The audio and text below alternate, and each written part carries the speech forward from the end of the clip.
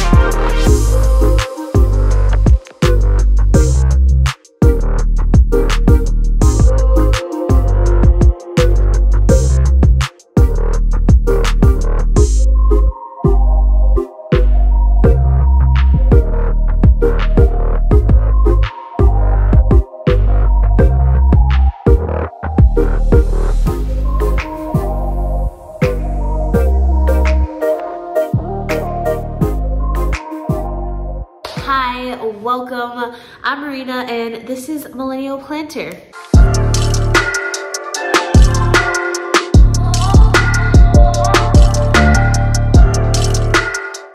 Today we are in crisis mode, friends. I found my propagation tank completely infested with spider mites at midnight the other day. Today is Sunday. I think I found them Friday night. So I went into obviously like full blown panic mode because the culprit was this witch right here. Little philodendron luxurians with that velvety leafness. I mean, honestly, it's my own fault.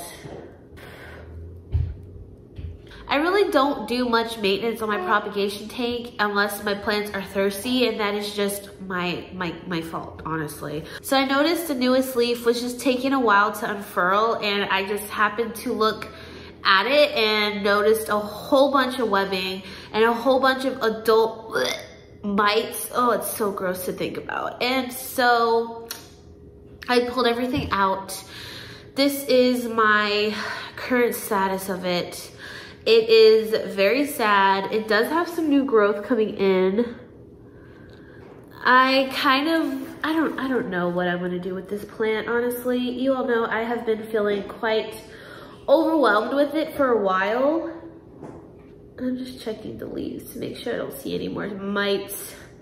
I've been overwhelmed with this plant for a little bit, but I really don't want to give up on it. So I don't know if I should like rehab it and sell it or just rehab it and just try my best to make it come back because I do not want to kill this plant. I can't kill this plant. Not everything had visible mites on it, but this is such a close propagation tank that I'm pretty sure everything like was contaminated in some way. So this is my last plant that I have to take out and treat is my pitcher plant. And I'm really sad because as you can see, this pitcher is about to open. And this is the first picture I've gotten from this plant. And I'm afraid if I have to like uproot it and move it and pot it up, it's going to kill it off. Um, the moss, I really want to try to save, but I don't know. Like, I feel like it's just so far gone and so far contaminated. But I also might just soak it in some hydrogen and hope for the best because it's a lot of moss in here and I don't want to waste it. This is the current state of everything that was in the propagation tank. I did throw away, I think two plants, my Peperomia rosso and my begonia black mamba because my rosso just had way too many leaves to treat. It was really lush and full and I'm really sad that I had to toss it, but it's just too much of a pain. And I was tired. Like I said, it was midnight when I find, found this out. And my begonia, because it didn't look like it had mites on it, but I knew once I started to treat it, it would just get some sort of fungal infection because that's what begonias are notorious for. So I just didn't want to deal with that heartbreak and I tossed it. I soaked all the pots. I treated all my propagations. So everything has been here. I have patient zero in this bag for extra humidity and to keep it extra separated. And oh, good news on this Emedrium. It actually has a quite a long root, which I suspected because this leaf hadn't died off yet.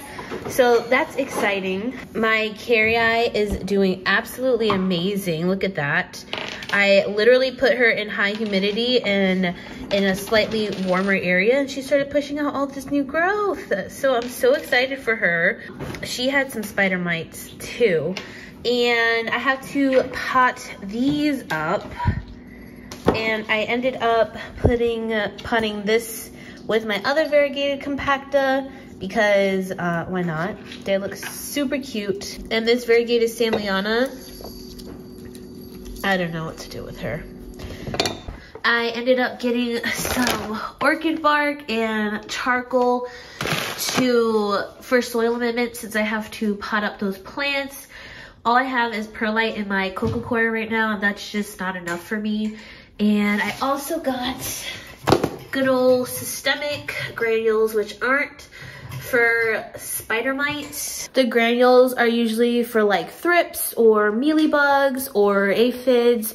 They don't specifically treat spider mites, but that is also why I got Captain Jack's um, because it specifically says thrips and spider mites and more. So they're all gonna die. I already treat them with hydrogen and soapy water and am I going ham? Yes. Yes, I am. I always go ham when I see pests. I'm not going to lie and say I never get pests because I get thrips quite often. I haven't gotten thrips this year actually, but I've had them three times in the past. it's been fun. I haven't had this bad of a spider mite outbreak ever, but that's also because I, like I said, neglect my propagation tank so lesson learned. I also got this little cute, adorable autumn fern to put in my propagation, or not propagation, my terrarium. I already have a lemon button fern and a heartleaf fern. I'm gonna take this peperomia out and just make it all ferns because they do really well in there.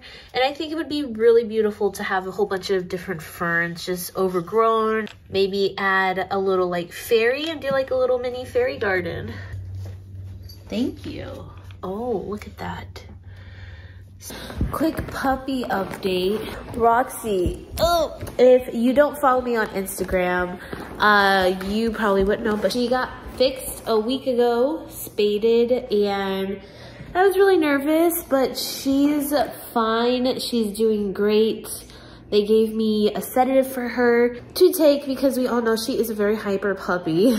the sedative didn't really do much. Like instead of her being at 100, she was at like 90. She did sleep really good though. Anyways, she's recovering really well. Thank you everybody that sent well wishes over because it was really like nerve wracking, especially the first day because she was so calm, obviously like getting off the anesthesia. It was just weird, her not being herself but she's doing so well. Living that cone life the best she can. Going to light my stress relief candle. Eucalyptus and spearmint. It smells so good. I actually love eucalyptus. It is my like top favorite scent ever. Okay, so here is the cocoa that I broke down last week in my last plant chores vlog.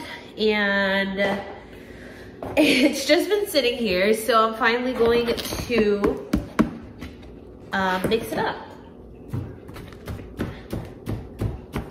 I hope you all are liking the mix of plant vlogs I'm gonna start throwing in. Really trying to post two times a week and I feel like that's just more easy and easier when I do some vlogging style plant related videos. I always have to keep it plant related, obviously, because this is a plant channel. So that's why I think it would just be fun to do plant tours and vlog it and add a little bit of like plant shopping like I did today and just random stuff because, you know, one thing that doesn't get talked about often is how high maintenance of a hobby it is to own plants, especially this many plants. So I always have some chores to do, literally, especially now since it's a growing season and there's a lot of repotting to do. And even though it's August, I still do repot in the fall time because we have pretty mild and pretty warm fall season here in Georgia. So repotting really isn't an issue. Like I still repot in the fall. So hopefully you all like it. And if you do, definitely let me know in the comments so I can just continue to create content for y'all that you like. And I'm still going to be doing like regular sort of like informational advice giving type videos, you know, like just the regular plant videos. Also, I'm just gonna be doing those, like one vlog a week and one regular planting video a week. We have my expert soil mixer here. So that nursery I went to is actually called Pike and it is it is a big box store, um, but it's not like Home Depot and Lowe's where they have hardware stuff. Everything they have is strictly plant related, so either like landscaping or for indoor plants. So they have, they don't carry any Miracle-Gro, which is absolutely amazing. They have Pro Better Grow orchid mix and this is straight fir barks obviously for phalaenopsis and orchids but it's great for aeration and it's really wet. That's weird. But that's kind of the mix. It has a lot of different size pieces which is what I like because a lot of these orchid mixes have really big pieces and it's just not ideal for small plants when you're potting up small plants. And I do have a lot of smaller plants to pot up sometimes. And if you missed my last video, I do use coco coir as my base instead of using soil. I don't like to use soil. And then I always just mix whatever I have on hand, whether that be perlite, orchid mix, pumice, charcoal, pretty much anything I can find, I use it all. I think I just got a splinter. Because I do like to make my mix extra airy and chunky. Now we're going to use charcoal. I, I don't really use charcoal often. They say it is good for like purifying your soil. I don't know about that. It does add aeration though, and I didn't want to use perlite again. I already have perlite in this mix. And perlite isn't my favorite, so I'm using charcoal.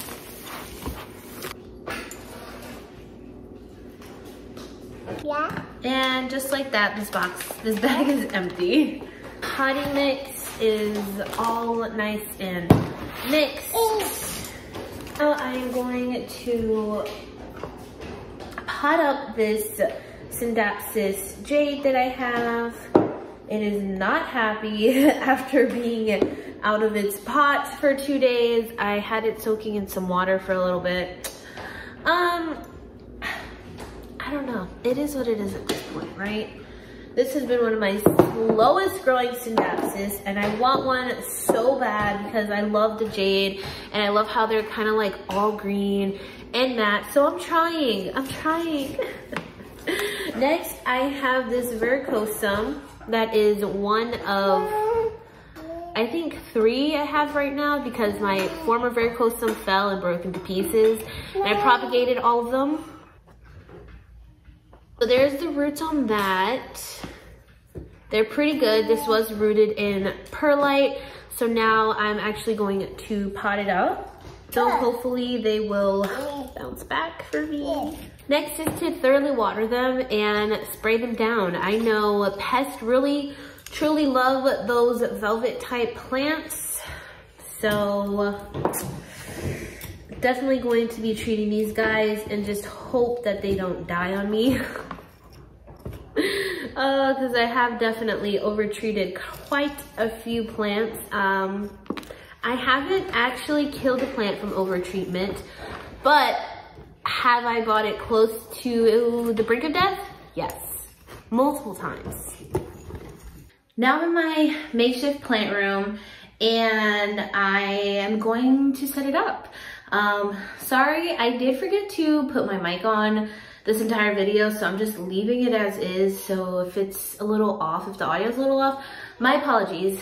But I did end up getting this plant stand, just like a regular bamboo plant stand. And now I have these hexagon shelf things, honeycomb shelf things that I got from actually Target. It was $3 in their little bullseye parking or bullseye area. And I've had all these plant stuff. I still have more plant like styling stuff. I don't know what to call these.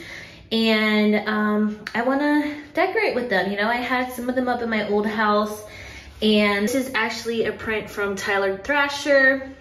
He sent it out with his Grow Damn plant journals. And then this one actually somebody made me in a plant swap. This is glass. Um, this is Curiosity Garden. That's her name on Instagram. She makes a whole bunch of these. I have another leaf somewhere that I want to hang up, but this one I actually won in a giveaway, in a giveaway she did. So I love this. It's a pink, it's a pink princess leaf and this is one of my absolute favorites. And this is a handmade embroidery hoop from Botanical Vic on Instagram. She does lots of different embroidery creations and this is one I got her to do for me and that is my Queen Anthurium. I absolutely love this begonia back when I loved begonias and that was my baby Monstera at the time. So I'm really excited to hang that up. She has a lot of cool creation. so definitely go check her out. But yeah, so I um kind of did a layout of what I want to put on that wall there and then just have like a little cute filming area. I am definitely not the best at decorating, so hopefully this will look okay. It looks okay in my head. I don't know, but if you don't like it, don't tell me because I can't handle the criticism.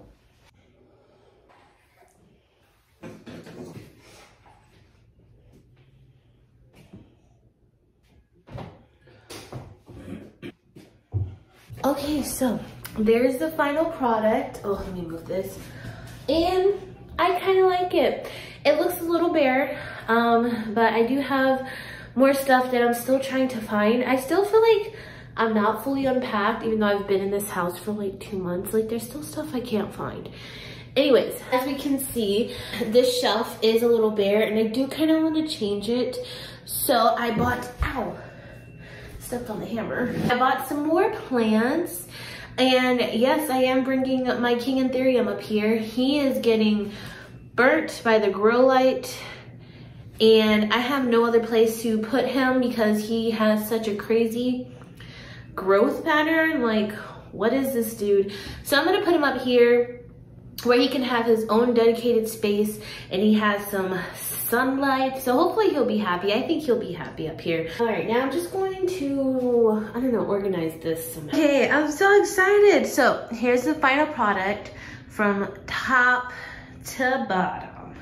Still have more space for more plants. Not trying to really fill that up because I still have plants to bring in uh, that are outside, but just real quick, up here is a uh, heartleaf philodendron that I had started and it's just so cute. Here is a Cebu Blue that I just potted up um, that one, I don't know if I'll keep there. Just depends on how it grows.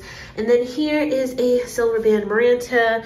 I want to change the pot on this. I don't know what kind of pot I want to put it in, but this one's doing great. It's fully rooted. Maranta are great lower light plants, and um, there is a window in this room, so I think this one will do just fine. And here up top is my Anthurium veitchii, and then I have a Pearls and Jade uh, or N'Joy pothos here. And my beautiful tall begonia, Lana, one of the only few cane begonias I have left. And over there is a some sort of bird's nest sansevieria. and my Scindapsus argyraeus. And then in the middle, I have my beautiful Schefflera plant that I have been so obsessed with lately. I think it's super cute. I have a Begonia Rex there, and then I have my Manjula Pothos, and then a Neon Pothos, and then my beautiful lush lemon lime Maranta, and right in the middle is a Dracaena. So yes, oh, I'm so excited about this. This is gonna be a great background for some plant videos and this bamboo shelf I will link down below. It was just a little confusing to put together at first, but once I started doing it, it was really easy. And then it also has wheels that I'm actually going to attach because this isn't going to stay here permanently. I'm actually gonna put it in front of the window uh, when I'm not filming just so it can be in the sunlight. A little uh, secret there for you. this isn't the permanent setup, but these are. So, oh, I love it so much. I think that's it for today. I'm actually going to bring my quarantine plants up here to quarantine um, away from everything. They're kind of in the way of my kitchen right now. And I am going to pick up a plant tomorrow. And this is actually like, oh, another wish list plant once again for a really good deal. And as always, from my plant dealer. She did another purge um, a few days ago and this one was at a discounted price, price because it did get a little sun damage, but it's literally like barely anything. And I was like, yes! So I can't wait to pick that one up. So excited. I will see y'all tomorrow. Are we ready to see the beauty of the plant uh, that I just got? Okay.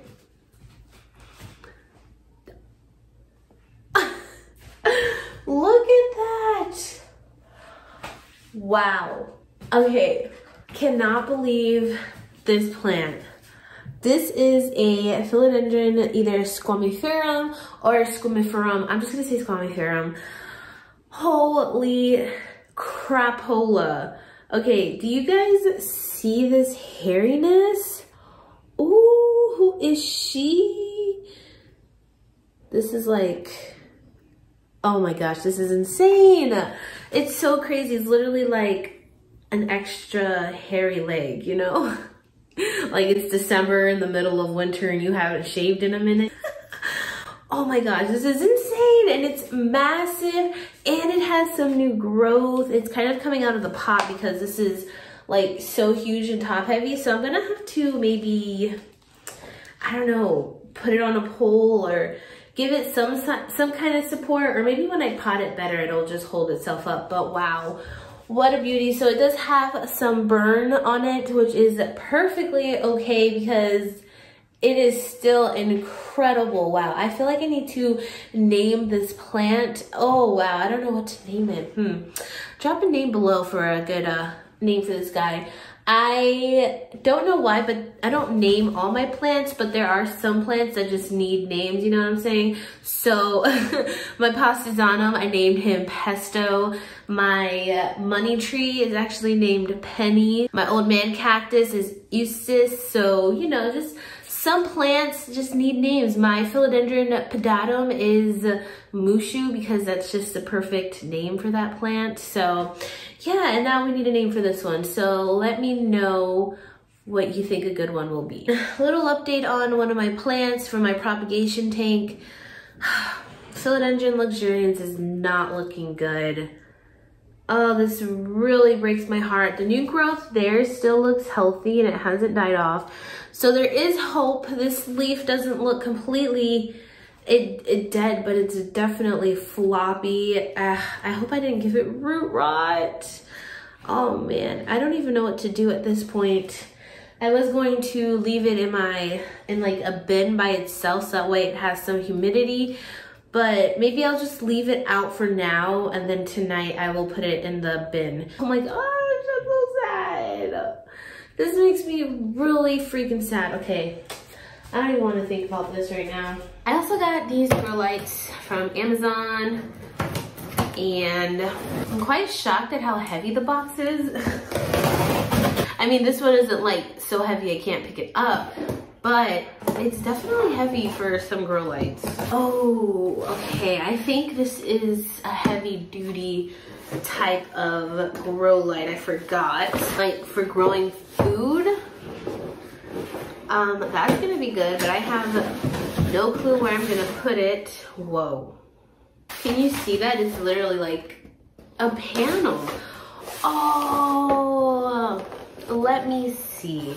Because I do want to do a little corner, maybe downstairs in my living room, maybe up here, of like big, of all my big plants. Because big plants can't fit in on a shelf and my shelves are too small for some of my biggest plants, especially the ones outside. If I do this little corner, I'm obviously gonna need a light over it and I think this will be perfect for that. Comes with like hooks and rope so that you can hang it. It's just a matter of how I'm gonna hang it. And that is that. It's kind of heavy. Now I can actually start planning this corner. I already have the image in my head. It's gonna be a corner of just like foliage. Ooh, that's gonna be nice. Maybe my new squammy will be up there. Oh, look at it. I'm gonna actually clean it up um, now and repot it because it desperately needs it. It is fully rooted though, which is awesome because I have a bad rap for propagating bigger, more established plants. It's a lot harder. Anyways, that will wrap it up for my chores this week. Um, aside from potting up this squamiferum. I hope you all enjoyed this. I hope you all are enjoying the Plantivalt vlogs.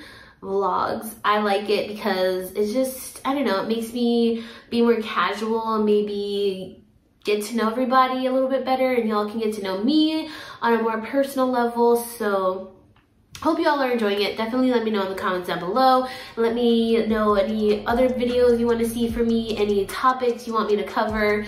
I want to know it all. So with all that being said, I hope you all are staying safe, staying happy and healthy, and I hope you have a wonderful week. Bye!